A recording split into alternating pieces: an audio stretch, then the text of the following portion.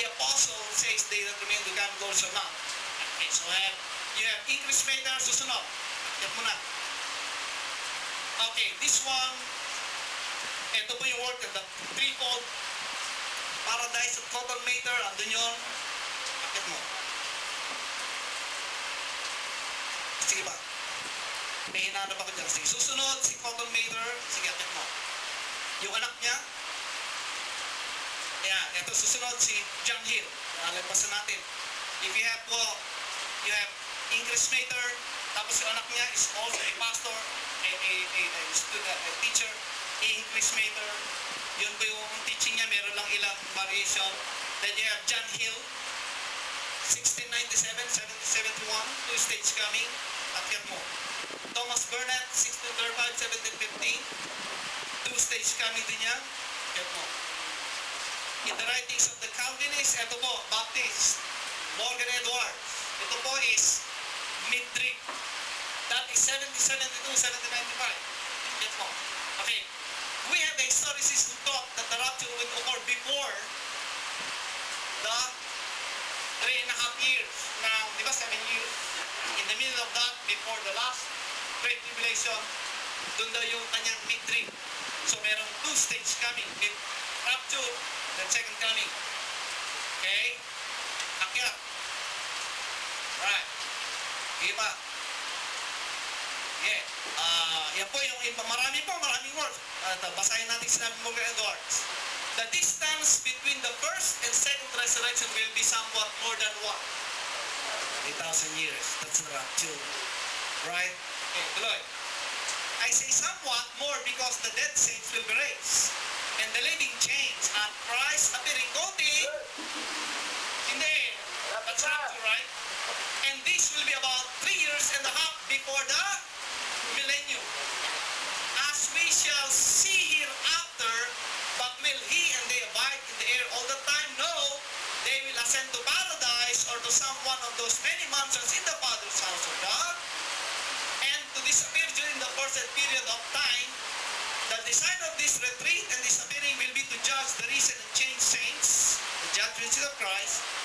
For now the time is come that judgments will begin, and that will be at the house of God. Again. He appears in the air and my shout, Blessed is he that cometh in the name of the Lord. The, the eyewitness John will be preached to the Gentiles, etc. Ah, sige. So, tuloy-tuloy mo na. Na. Susunod po dyan, we have, sige. Mahaba po yung ginawa niya rin eh. Ah, tuloy na yan. Sige pa. Eto, sige, eto, rapture plot. Okay, sige, akit mo. Gusto ko makita yung kay uh, Margaret McDonald. Sige, hop, sige. Alright, sige, tuloy mo. Tama po yun. Tuloy mo. Sige, akit mo. Sige.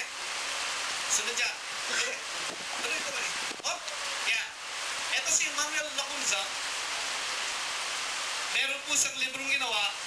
Pareho din po ni Rivera. Ah, 731, died 1801, Jesuits, 747, was expelled from Spain, colonies 767, wrote his famous Tome, the coming Messiah in glory and majesty. Anong laman nun? Or, under the pen of Juan Josephat Ben Ezra being suspicious might be placed in the index of the forbidden book. Actually, it was. Kasi ang Catholicism is amillennialist, right? Tuloy natin. And, tuloy-tuloy ah. Circa the manuscript in 1812, index September 6, tuloy. Anong laman nun? But what was three long for? Akyat, haba mo. Lacunza, tinan niyo, stated his view that at the close of the that's possible. Of Daniel 12, which according to the 12th day, the rapture will occur and judgment will be poured out for 45 days.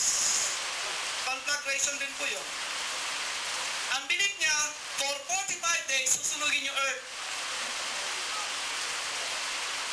Three. Pre-trip ba yun? No. Dumasa sa tribulation period. Uli natin.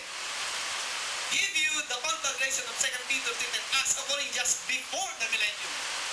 Uli natin. And that the saints would return to a renovated earth that he gave a precise time. Okay? First, we take note of his statement that much before Christ's arrival to earth, he will have raised the righteous dead and have caught up the living ones.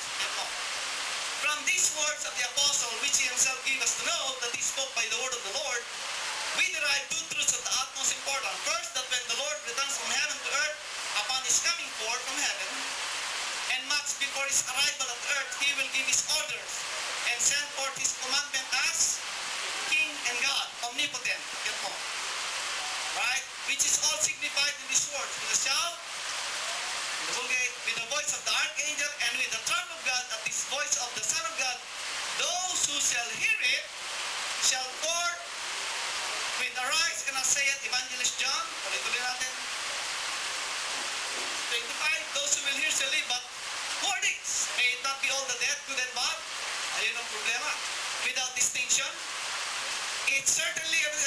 not. Otherwise, Paul would not have taught us upon the word of the Lord.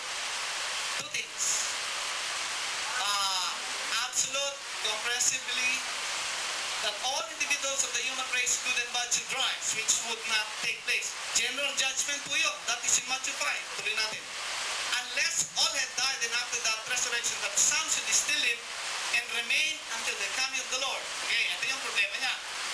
He directly 1 Thessalonians 4, 13 to 17 to Matthew 24. Yeah.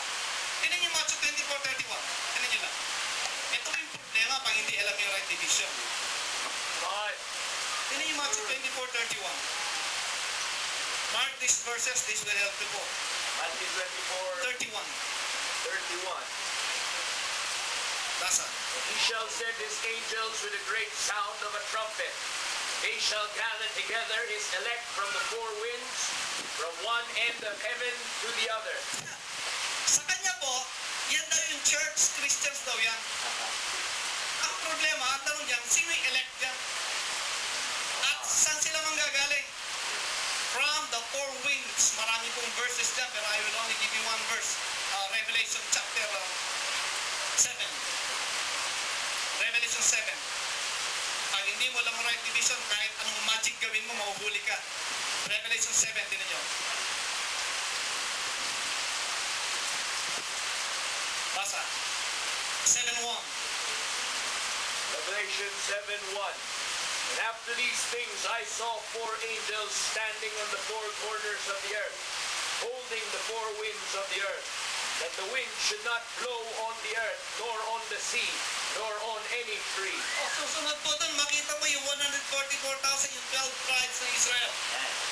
Merong rapture po sa Matthew 24, that is mm, before the second coming may rapture. Remember po, there are three guys that were taken. You have Enoch, Moses, and Elijah. Representative po ng three groups sa rapture. Okay? So, if you cannot rightly divide the word of God, magsasabit-sabit ka dyan. How can you reconcile 1 Thessalonians 4, Matthew 24, saka Revelation 19? You cannot. Tayo po, when Christ appears, we will also appear with Him. Colossians 3.14 niyo. That is already second coming. That's not rapture. Colossians 3.14 niyo. Amen. Colossians 3.4. Basa. When Christ, who is our life, shall appear, then shall he also appear Amen. in glory. This appearance is after in heaven. And notice you were already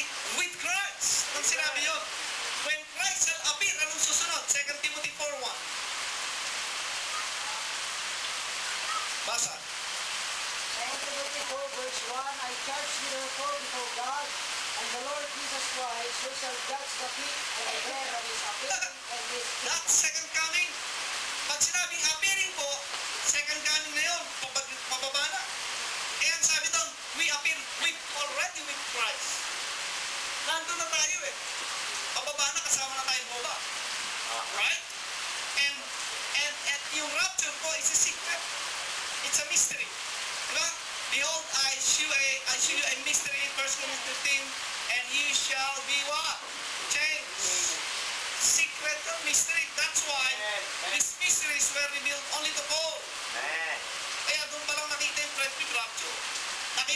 course sila. They're not teaching pre-trib. Right? They're teaching post-trib, historic, historicist, premillennialism. Akit mo. How about those two demonic inspired lady na nag-speaking tongue? Basahin mo. Yeah. Tuloy mo, hanapin natin. Sige, sige, get mo. Yeah, ma- makita na natin yan eh. Wala na sinabi yan eh. Get mo. Kaya i- if ignorant or, or a liar? Sige. Akyat. Sige. Sige, marami po yan. Sige. Yung kay John Irving o Edward Irving. Sige. Sige, akyat mo. Sige. Lakusa pa rin yan eh. Sige. Ayan. Ito, ito po. Before Lacunza, again, Dave McPherson is an outward liar. Before Lacunza, and, and, and, and, uh, yung isa, sino yun? Si Rivera, meron ng futurist view.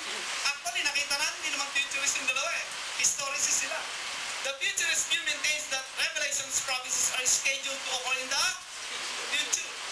Bloomberg and Chuck Artan. As I've already seen, historic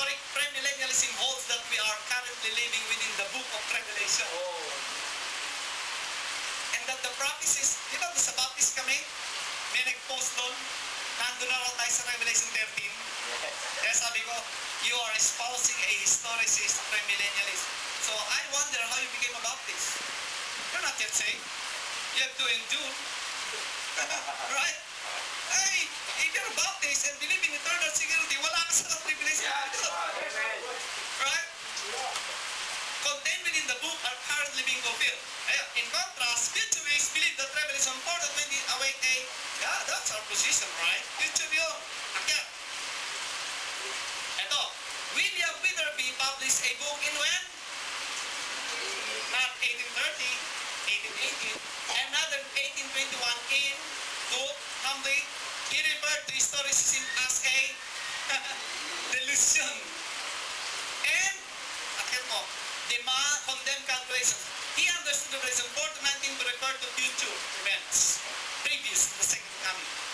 Mo, before Lacunza's book was published in 1827, S.R. Maitland published an inquiry grant, etc., etc. Okay, he set forth elements of futurism in his book in 1829. Maitland published second edition. Okay. Ito. I was not aware that the literal interpretation of the 1260 days had been maintained in a work recently published. I mention this not only that I may offer my thanks to the author for that and for other words on the subject. Okay. Tuloy natin. Akit mo. Now, yan, si... Okay? Sige pa. Witherby, tandaan nyo. S.R. Maitland, 1826 book. Yan o. Before 1830. Okay? Witherby were available in English before Lacunza's book. However, these writers were not before this Jesus wrote, meron na sumulat ng futuristic view. Sige, akit mo. Pa. Sige pa. Eh, ito, ito, ito. Yan. Number three. Alex, demonic and occult source of the pre-trib rapture. Hindi nakita ko sa Facebook noon eh. Naka ako, hindi ko alam ito. Ang re-repeat to. You should know the history, right? Right. Praise God, God show us the, the Amen. work. In 1864, the post-tribulationist S.P. Pagels of text critic fame made the following chart. Now, this guy po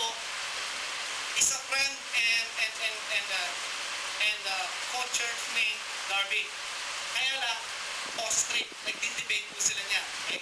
Ano sabi niya? But when the theory of a secret coming of Christ was first brought forward about 1832, it was adopted with eagerness. I am not aware that there was any definite